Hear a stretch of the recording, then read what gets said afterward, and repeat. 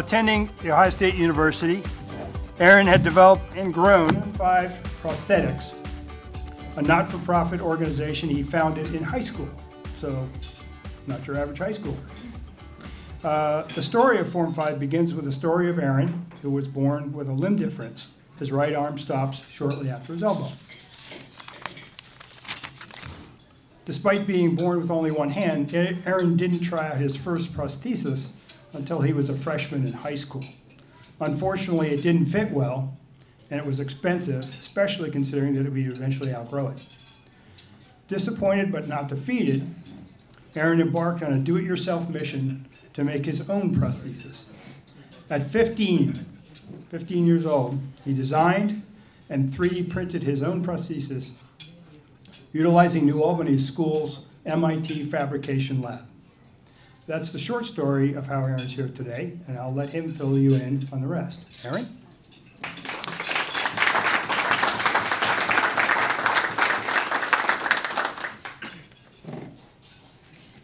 Okay, I think this works, and I talk very loud, so I might not even need it. But um, good morning. I really appreciate the opportunity uh, to speak to your club uh, in addition to the incredible work that I'm blessed to do at Form 5, uh, I also am a Rotarian. So I am from the New Albany uh, Rotary Club. Uh, I joined about a year ago, so I'm quite new to Rotary. Um, but as I am known to say, I feel like I've been a Rotarian all my life. I know that's kind of cheesy, but if you've been a Rotarian for a long time, you probably feel the same way. It's like this has been my path and I found it. So.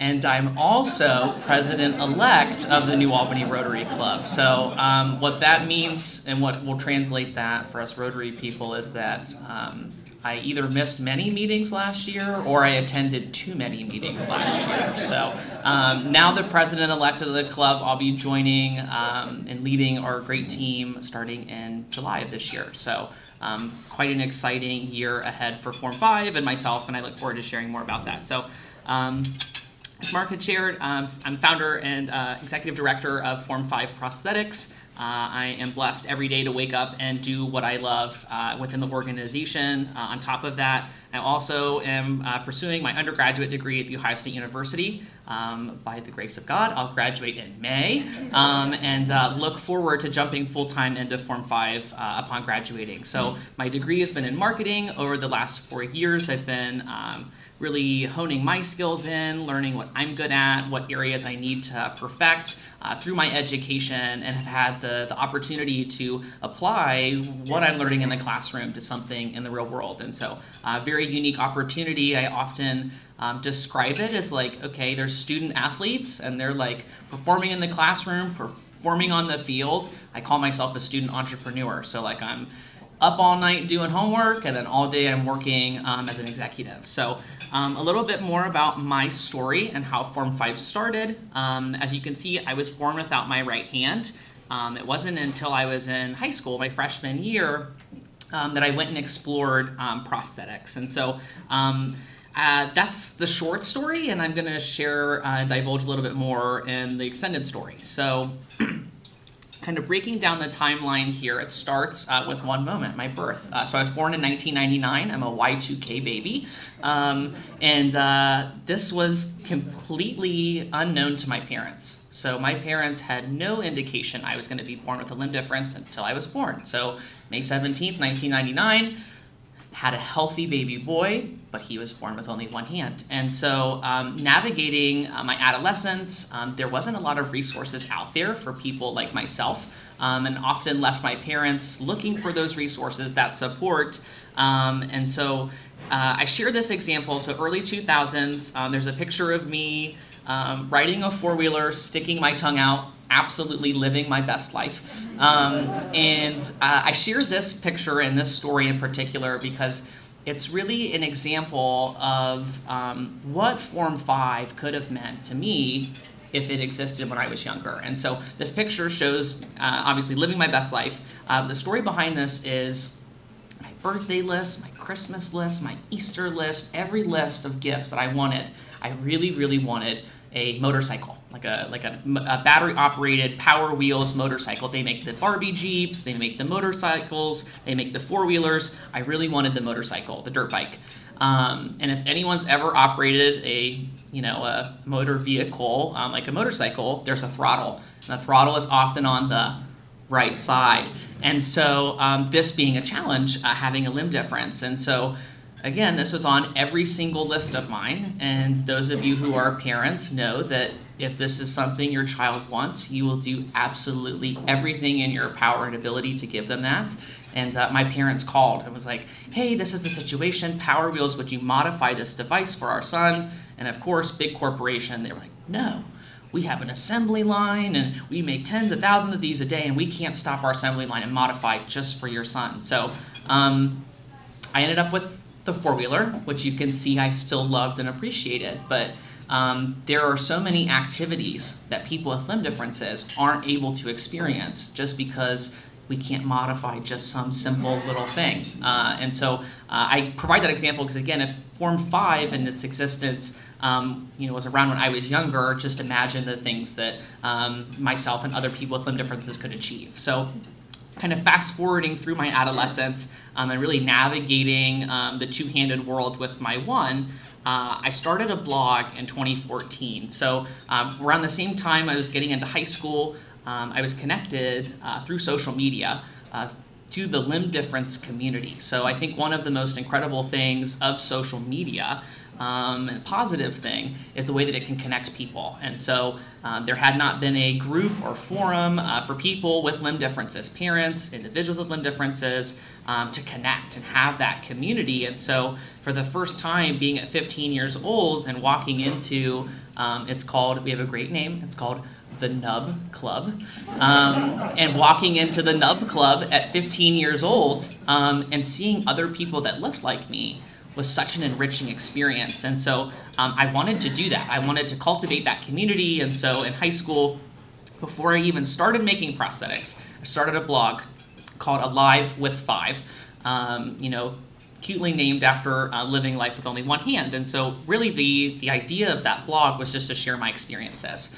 Um, and then that's what inspired me uh, my freshman year to get my first prosthesis. So I went to a clinic, uh, received a prosthesis, and was exposed to the barriers uh, that people like myself with limb differences face, whether it's cost, uh, whether it's accessibility. Um, but then there's also something that I saw um, was that there was a lack of innovation.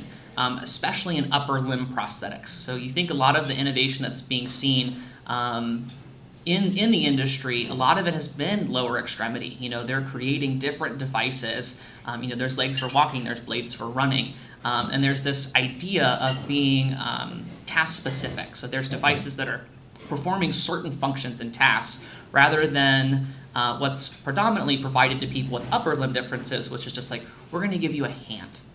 Like, we're just going to give you a hand. Um, and so just seeing that lack of innovation, the inaccessibility, um, you know, there needed to be something said. And so, as a young individual with technology at my fingertips, um, I knew that there had to be something better out there than what I got. And so, uh, in 2015, uh, my sophomore year of high school, um, at 15 years old, I designed and 3D printed my own prosthetic arm. And so, uh, really, from that experience and um, you know, taking a lot of the things that I had learned up until that point of my love for technology, um, you know, service and the community, um, you know, was able to empower myself in a way that I never imagined. Um, and it really inspired me to give that back to other people. Um, and I think having that community and being connected to that community, I saw um, what this could do to me could uh, mean so much to others like myself. And so, uh, very early on in 2015, the idea was to start a nonprofit. And when you're 16 years old, you have no idea what a nonprofit is or how to even do that. So um, I reached out to people, called people, I'm like, I don't understand what this means, 501c what? Um, and just tried to understand the process um, at a very young age. And so it wasn't until I ended up graduating high school. So I spoke about the idea of Form 5 at a TED Talk in 2016. Um, and then my senior project is really um, high school senior project is uh, really the catalyst that launched Form 5 as a nonprofit organization. Um, really, the, the biggest thing being that I needed to be 18 years old to sit on my board.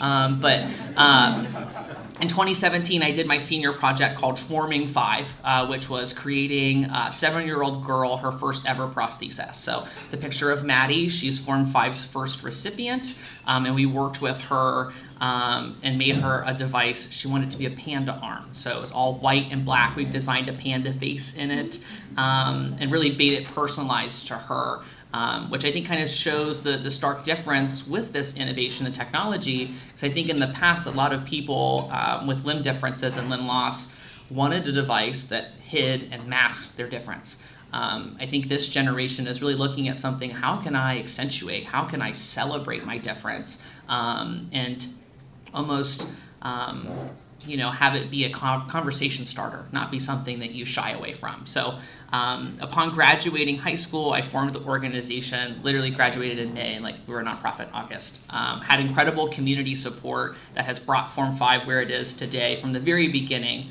Uh, and so, in 2018, uh, brought a board of directors together, um, the founding board, really looking at ways that Form Five could really build infrastructure within the organization um, knowing that it had a really big vision uh, and what it could mean to the limb difference community. So um, as the organization took off and grew, uh, we launched a CoFab workshop, uh, which is a workshop we do annually. Um, so this is our way of doing product development uh, with the limb difference community. So uh, we're not a, you know, we're a medical device company, but we're not like most medical device companies where we innovate, you know, technology or products and we say, you need this and you need to buy it. Um, you know, individuals uh, come to us and they, you know, are, they share their struggles, their barriers, um, and uh, kind of uh, as a collaborator with them, Form 5 helps them come up with solutions to these problems and barriers um, and that's what we do at CoFab. So CoFab is a six-week program. Uh, we bring in individuals with limb differences, and we pair them with college engineering students, design students, occupational therapy students. Very interdisciplinary curriculum that we've developed uh, because we're reinventing prosthetics. Um, we need different ideas, different perspectives around the table um, to be able to spark that new innovation. And so uh, we do this program bringing in those young individuals um, who have the passion uh, and the talents they're learning in the classroom and giving them that opportunity to, to make a real difference in the world. So uh, we just actually got done with our third annual CoFab uh, about two weeks ago. Uh, we worked with three gr- young girls. I'll share some videos a little bit later. Um, but that's an incredible workshop that we do every year. And really the idea is how can we, as an organization, Form 5, uh, make devices that are going to be impactful to the community? Um, and we do that by listening to them, including them in the process and the design of their prosthesis, very similarly to what I did when I started Form 5. So, kind of walking the talk um, and what we want to do. Um, CoFab is really our engine of doing so. In 2020, um, the world or the world the year that was like no other. Um, so obviously cannot say covid anymore in a presentation um, because it's almost impossible not to say it. So um, covid happened uh, but more importantly we, we expanded our board of directors last year. And so um, you know growing from a board of four to eight individuals in a global pandemic um, was quite difficult. But this was also a really unique time for the organization to start building out the infrastructure that was laid uh, by the previous board. So last year we chartered our first ever committees. We, um, you know, started looking at having an executive leadership team. We looked at, um, you know, uh, relocating our space. Um, but most importantly, we were faced with a lot of the troubles that everyone else did through COVID. We couldn't meet with our clientele. We couldn't bring together the limb difference community. Um, and we had like six 3D printers just sitting idle. Um, and we had just chartered the Innovation and Technology Committee. Um, and this is an uh, committee comprised of engineers, designers, medical professionals uh, from Battelle, Honda, AEP, um, all volunteering their time on this committee. Uh, the first week that it was chartered, um, COVID happened. And a lot of the committee members asked me, like, Aaron, I'm seeing all this stuff happening overseas with, um, you know, 3D printing PPE and supporting and combating the pandemic. Is this something you think Form 5 could support? Um, and if you haven't picked up on my energy yet, those are the questions that I love. Because I'm like, of course we can. How are we going to do it? I don't know, but we're going to do it. Um, and so within that committee, in about a week span, they designed a reusable face shield that Form 5 later patented Um, and with the help of the AEP Foundation, the Columbus Foundation, the Albany Rotary Foundation, um, over the course of 2020, Form 5 manufactured and donated um, over 6,000 face shields to human health service organizations in Ohio. Um, so thank you. Um, and a lot of that was thanks to Rotary. Um, I say this, you know, I joined Rotary the same time, you know, that COVID happened. And I think because of the mission of Rotary and the dedication of its members and their um, big thinking, it made me realize that Form 5's mission, yes, we, you know, our scope is within prosthetics, but the technology and the passion and the resources that we have could empower so many other people outside the limb difference community, and we saw COVID as an opportunity to do that. So I'm very blessed for Rotary support and us pivoting to produce face shields um, and making that impact in the community. So 2021 um, has been a, a great year. Uh, we've grown. We added a, a new board member. Um, we're looking uh, now at uh, growing into 2022 and other exciting things, but um, want to share kind of more granular information about the organization. So, our mission really is to empower people to successfully interact with their world and their future. Um, like I had mentioned, uh, we've done this in a lot of different ways, COVID kind of being an accelerant of that. Uh, but really, we, we meet people where they're at today. We want to understand their aspirations, their struggles, the things that they need, the resources. Um, and, as, and as an organization, build that um, success plan for them to be um, who they want to be, who they imagine themselves to be, um, and the things that they want to achieve. So I had mentioned we have different committees that support uh, the various work of the organization. So the Innovation and Technology Committee, I had spotlighted on their work for PPE, uh, but they also do year-round projects. So we're looking at, you know, we do our COFAB, we work with about three to five people, and that six weeks frame, we literally make prosthetics in six weeks. Uh, but these are year-round projects. You know, they require more R&D, um, and often it could look like an idea that came out of COFAB that needs refined. Um, you know, this is what that committee does. And so uh, Lindsay, she um, is an incredible, she's the chair of the Innovation Technology Committee. She works tirelessly year-round, coordinating volunteers, um, bringing people together that, um, you know, they might love engineering car parts or other devices or things at their work, but they're looking for ways to get involved in the community and give back. And so um, she's been incredible in building out our volunteer network and finding passionate individuals um, that want to support the mission of Form 5. So I had mentioned kind of about the prosthetic industry and just kind of the things that Form 5 sees as barriers. Um, and so we've really identified our, our niche, our niche market, um, and that's really custom application prosthetics uh, through our COFAB workshop, we've learned time and time again um, that the devices that people with limb differences are looking for um, help them perform certain tasks. Um, so whether it's riding their bike or playing an instrument, um, these devices um, aren't something that helps them do everything. It helps them do something specific. Um, and often, you know, the, the cost of traditional prosthetics, uh, you know, it's anywhere from 10 to 35 almost $50000 depending on the device. And so um, you know looking at young kids that are um, involved in everything um, you can imagine as a parent there's an expense to that. You know i need to buy my kid cleats for soccer. Um, imagine that being a $50000 expense just to participate in the sport um, so there's this um, shift that needs to happen in just the way that um, we're innovating these devices. And so Form 5 is very big on um, creating custom application prosthetics um, that really empower uh, our users to do things that they never thought that they could do. So um, this is a picture of Maddie. Uh, she's one of, I think, four individuals now that have received Form 5's bike prosthesis, empowering her to be able to ride her bike. I don't have I need to put switch out this picture, but um, we actually the first or second bike prosthetic we worked on was at our COFAB, our first COFAB workshop. Uh, we worked with a, an adult woman, and she uh, hadn't been on her bike since she was about ten years old, and she wanted to ride in Pelotonia. And we worked with her, um, and she didn't get to ride last year because of COVID. Um, but we worked with her and uh, provided and fit her with a prosthesis to ride. She got to ride last year. Um, and something that has been kind of an, an ornate relationship that I have with every Form 5 recipient is the lives that I'm impacting, the lives that Form 5 is impacting. They're impacting me. and I rode with her. So I rode the longest on a bike I've ever ridden in my life 25 miles. Crazy person.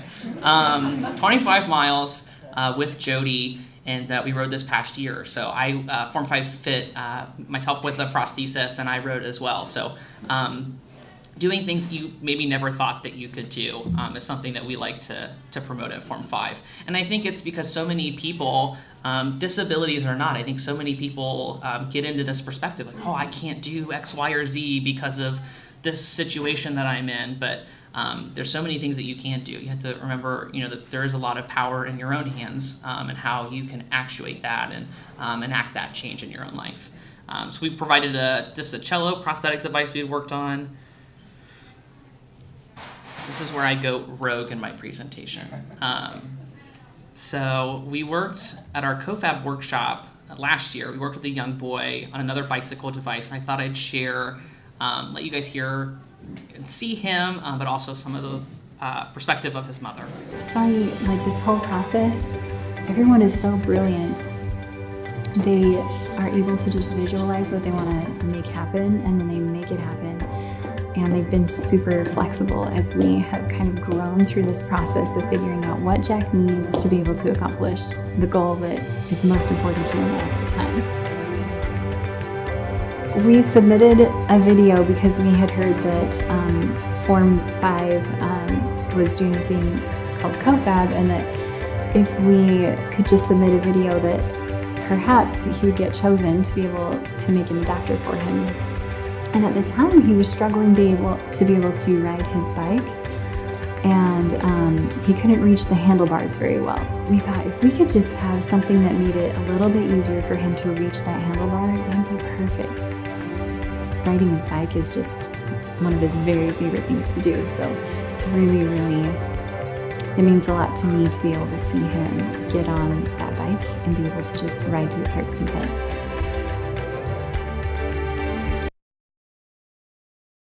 bit um, from last year and then in my continuation of going rogue. Um, I just pull up our Instagram. So we worked with three three boys last year, and for whatever reason, we ended up working with three girls this year. Um, so these are the individuals we worked with about, um, or this past month. Um, in October, um, these three were looking for devices to play specific sports. So um, Callie wanted to play softball. Um, Grace is going to play volleyball, and Takara, she is involved in everything at her age at two and a half. So she wanted something to be able to play, like her, like she wanted a device that helped her hold like s- specific toys. So like she liked to play like her little drum set. So they wanted something to hold uh, the drumstick, and then um, also some other items like her little tricycle and things like that. But we worked with Callie. Um, and she wanted to play softball. So this is one of our more challenging devices.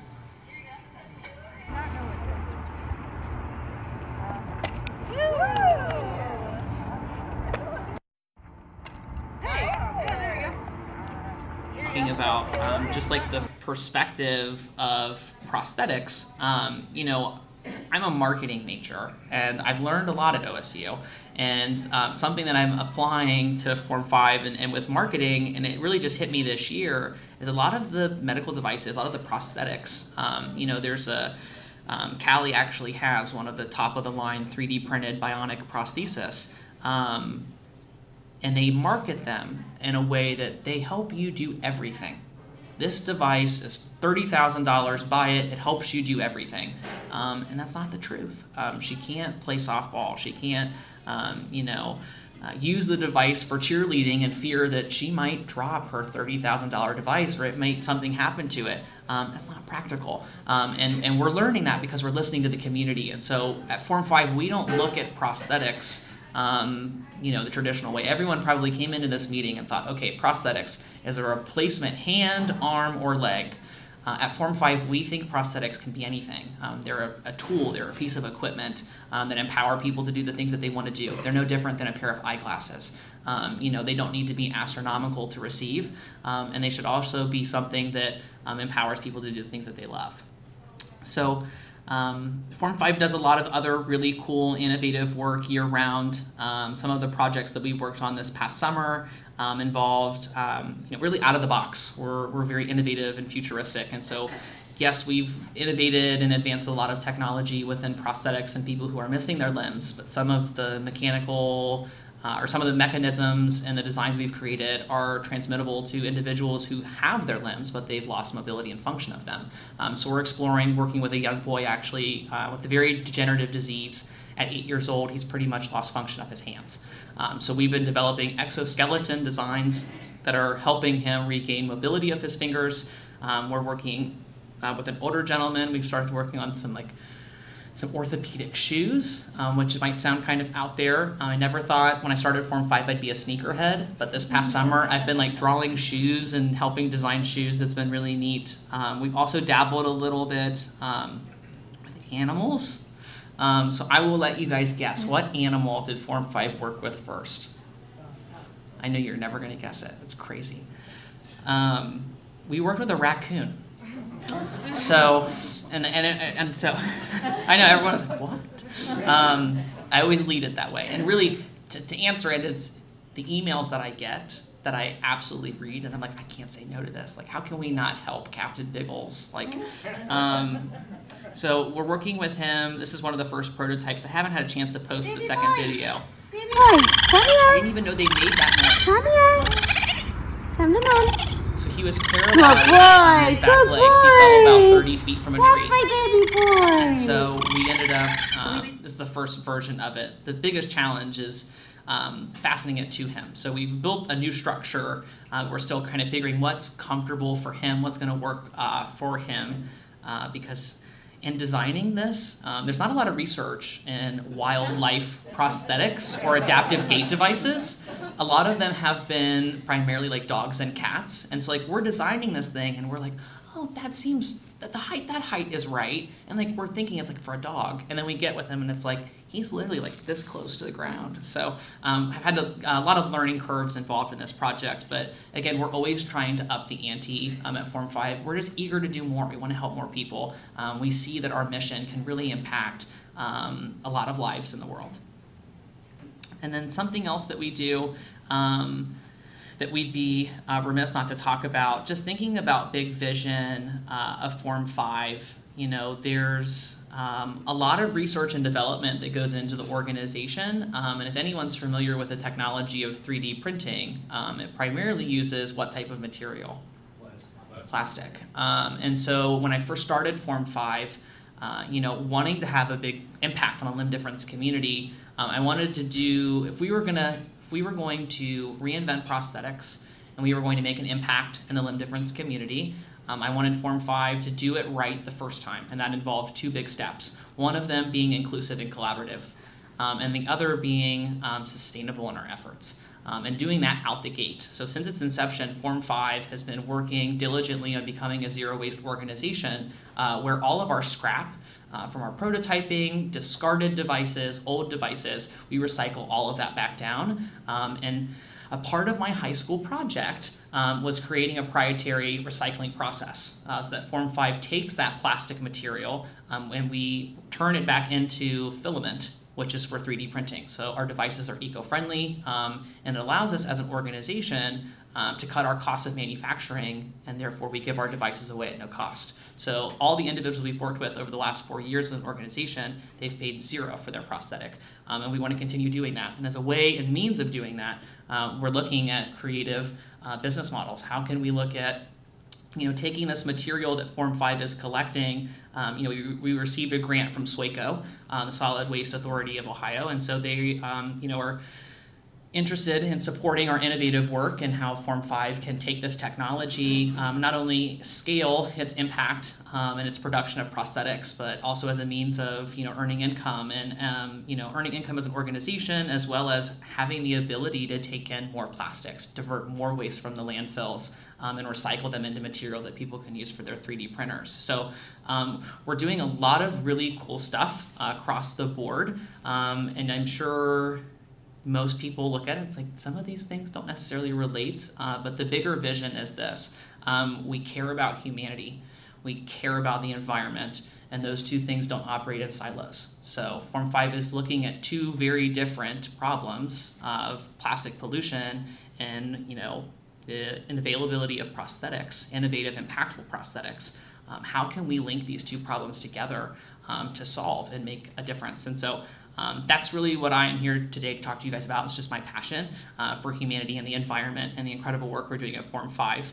Um, I really appreciate the opportunity of sharing my story with you guys, um, and I've definitely opened the floor to any, any and all questions that you may have.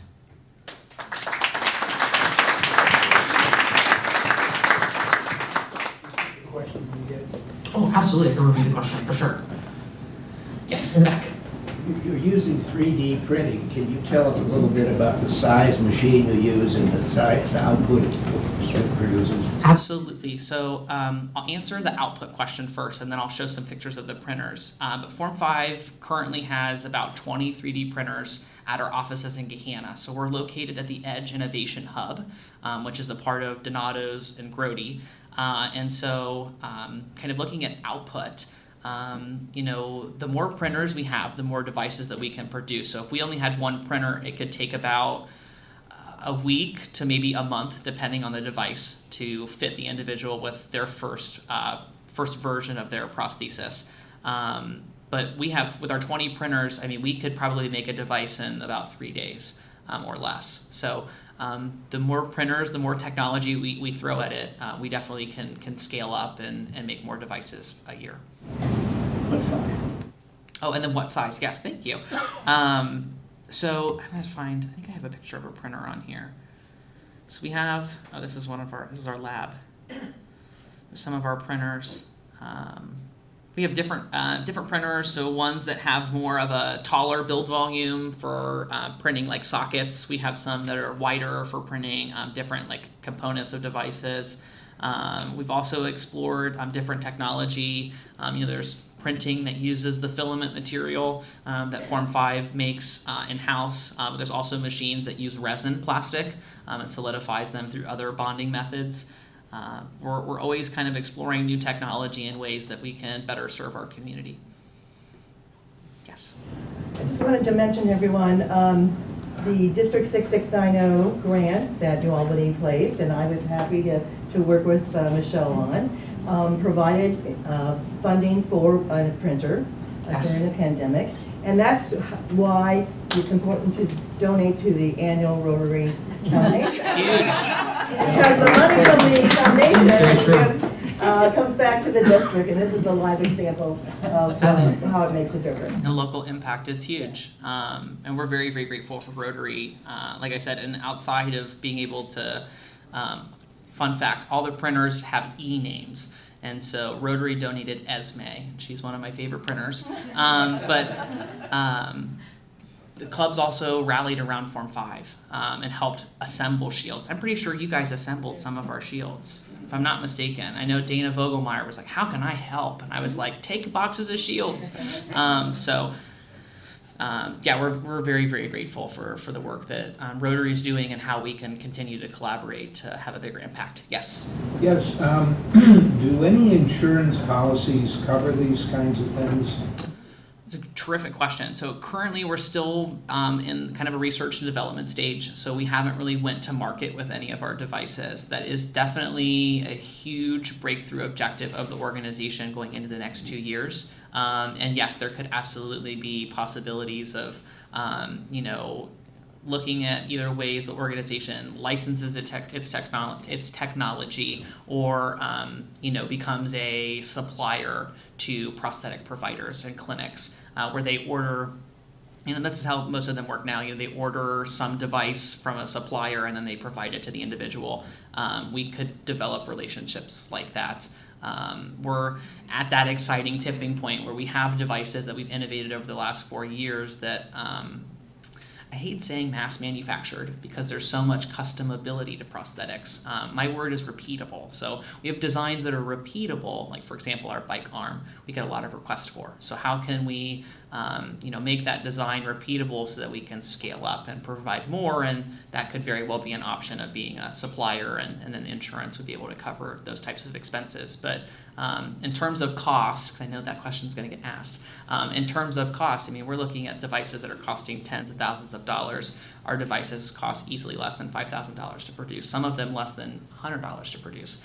Um, and you're looking at the majority of that cost being plastic, the material to make the device. Um, and Form 5 can find ways that it can make material essentially from nothing, trash to treasure. Um, we're able to really scale up and have an impact. Yes, up here. Rick. Form five and you in 20 years. Oh my gosh, Form 5 and me in 20 years. Um, In a nutshell. in a nutshell. Really confining me here in a box. Um, really, my vision for Form 5 is, you know, I, I talked about it, I think, in the presentation of like, I can't do X, Y, or Z because I have one hand. Um, I've fallen accustomed to that. And so I guess Form 5 and me in 20 years is that no longer being a thing. I think a, a world um, where individuals with limb differences have those resources and the confidence and support to do the things that they want to do. Um, you know, my my mother, when she first had me, the first doctor visit she went to, they suggested that she go to an orthopedic um, doctor, and um, he like told her, new mother of this you know limb different child, he's like, this is a very two-handed world, and I just don't know how your son's going to navigate it. In 20 years, I hope that's not the norm. Um, I hope there is resources and there's people out there and there's a community. I've learned that it's it's huge to have that representation. Um, you know, there's individuals with limb differences who are saying, I can't play, I can't be an NFL player, I can't play football. Um, but just this past year, the first ever individual with a limb difference was drafted to the NFL, Shaquem Griffin, the Seattle Seahawks. So it takes one person. Um, and it's like, how do we show that person to the whole community and inspire them that they can do those things? Um, it's very similar to the relationship I have with Jody. Jody inspired me to get on a bike again. Um, we can do more of that. Um, we just need to build that community. Yes. So, going back to the first one you made, how many parts did you have to print on your 3D printer to assemble your first one? Oh my gosh. If you remember approximately. uh, over 20 different pieces. Um, and the first printer I had, his name was Eli. Um, and I still, Eli is still a part of our printer fleet. So eight years later, Eli is still printing our prosthetics. Um, and yeah, but I think it was about 20 different pieces. And it took me uh, over a month to, to get everything printed and of course like fight technology because it doesn't work half the time, right? You know, um, and then assembling it and figuring it out um, about over a month. Great question. One more question. Last one. Aaron, tell us how you got involved with Rotary, how you heard about it, how you got involved. Oh my gosh, that's a really good wrap up question. Um, how did I hear about Rotary? Um, you know, I I'm very I don't know self aware or con. I guess I'm not that's the word. I'm self aware, but I'm conscious of like my environment, and I just always remember seeing the wheel in the community. I never really knew what it meant, but I knew it meant something significant. And um, it wasn't until I got older, um, you know, and I started doing Form 5 and giving back in the community that I really wanted to find uh, a medium of uh, giving back in a way outside of Form 5. And because I am so focused on this vision that I'm moving forward, but it's like, what are ways that I can apply my skills in other areas, support other communities? Um, and that's what attracted me to Rotary. Um, you know, just the, the vast work that it's doing and it's, you know, seven areas of focus and the way that um, it's not just reaching local but globally. Um, that's what kind of inspired me. And so um, I attended the New Albany Rotary meeting and kind of learned more about just the, the basics and what they were doing. And then um, definitely did my own online research. And I was like, okay, there's some really cool things that are happening here. Um, and I think something that interests me most about Rotary is that I think this is a very unique time to be involved in Rotary. There is a lot of change happening. There's a lot of new ideas coming forward, um, and it's just something that's invigorating to be a part of. I like. I'm energized by being a part of something that's bigger than myself. Um, that I know I can plug in in a meaningful way and make a difference. So that's what got me into Rotary. Cool. Thank you very much again.